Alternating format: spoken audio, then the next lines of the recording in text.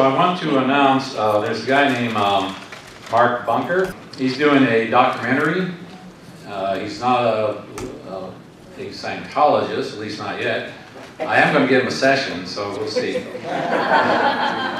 Uh, uh, Mark has done various documentaries, and he wants to do one on um, Free Zone. And well, I'll let you talk. I'll let you tell him what you know. A, a few of you know who I am. Uh, some of you may have cursed me. Uh, I, I, am a, a longtime critic of the corporate church of Scientology. And I've been almost um, as long a, a supporter of the free zone. Um, I'm making a film right now called Knowledge Report, which looks at the abuses of the corporate church of Scientology. And the basic thrust of the film is that you can believe anything that you want to believe, but you can't behave any way that you choose. And when corporate Scientology uh, does fair games, uh, fair game against their critics, when they go after you because you want to use the tech, when they uh, hardcore reg people out of their life savings, uh, cause disconnection among families. These are the types of things that I'll be addressing in the film.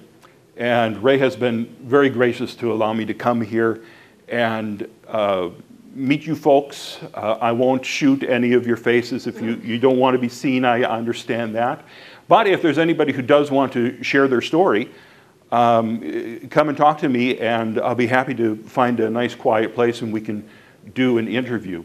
Now, Ray was generous enough to do a, a really nice interview with me the other day, and um, the what's used in the film is going to be, you know, fairly small amount of the interview. But once the film is finished, I'm going to put the entire interviews for everybody that I've talked to online, so you'll be able to see everybody's complete story. Um, and again, I, I fully support uh, anybody uh, in the free zone, anybody who's an independent Scientologist. I think you have every right to believe in that and practice that, and, and you have my complete support. And I hope that you know I can have your support as uh, I finish this film as well. Thank you.